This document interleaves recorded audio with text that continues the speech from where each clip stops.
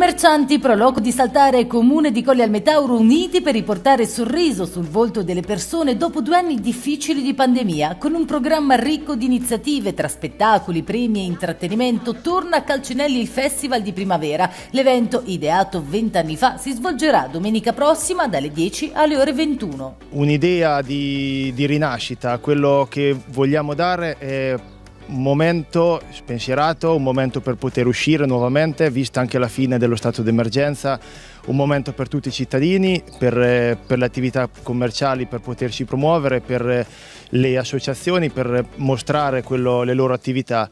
Da qui è nata la volontà di voler contattare gli artisti di Zelig, comici come loro che sapranno sicuramente far ridere. Infatti avremo Max Cavallari con il suo spettacolo Cari Cortili, avremo Giancarlo Calabrugovic, il Calabretta, abbiamo Alessandro Politi che è il Grande Mago, il Grande Mago 3, tutti che sono comparsi poi nel Zelig dell'ultima edizione.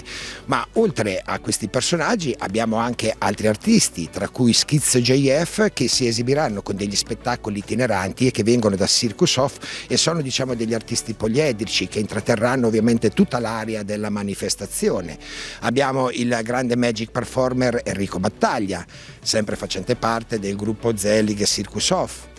Dopodiché ovviamente la giornata è caratterizzata non solo da questi personaggi ma anche da altri artisti, basti pensare che al mattino abbiamo il pianista sul maggiolone, si tratta di un maggiolone che è completamente autonomo, addirittura dotato di un fotovoltaico eh, trasformato in un pianoforte e che allieterà la mattinata lungo la via Flaminia.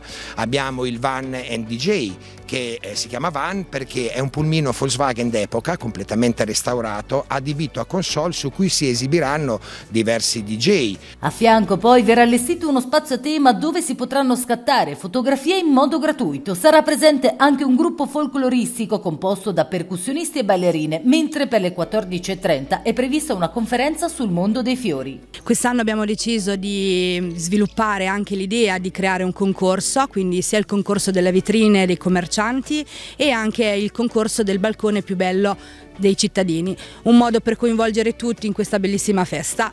Trovate il programma completo nella locandina eh, scannerizzando il codice QR, questa è una scelta sia ecologica che innovativa. Il festival eh, sarà diviso in quattro zone principali, abbiamo via Marconi, eh, il piazzale del, della delegazione comunale, via Flaminia e la piazza centrale. Quello che proponiamo quest'anno per questo festival è cultura, intrattenimento, musica e spettacolo, non mancate.